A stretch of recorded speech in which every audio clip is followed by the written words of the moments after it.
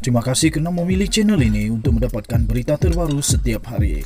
Bagi anda yang pertama kali berada dalam channel ini, sila pertimbangkan untuk tekan butang like, subscribe dan komen video ini untuk penambahbaikan pada video akan datang. Berita politik, berita semasa, berita ekonomi, berita kesihatan, pendidikan dan segalanya ada dalam channel ini.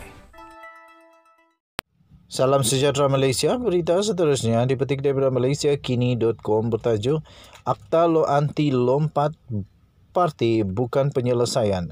Recall election paling baik, kata Najib Razak.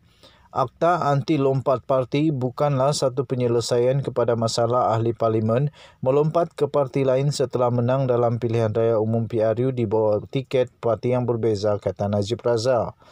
Secara sinis dia berkata parti yang paling banyak menerima katak politik mahu akta anti lompat parti dilaksanakan segera.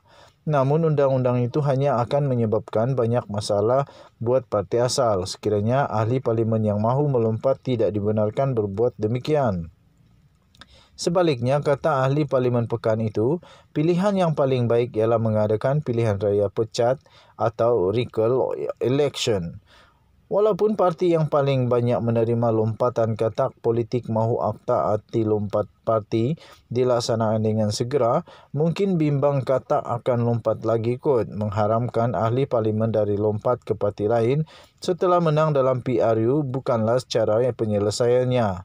Ia lebih parah Sekiranya ada ahli parlimen yang sudah lebih gemar dengan parti lain tetapi terpaksa berada dalam parti sendiri sebab mereka tidak dibenarkan untuk melompat bawa undang-undang.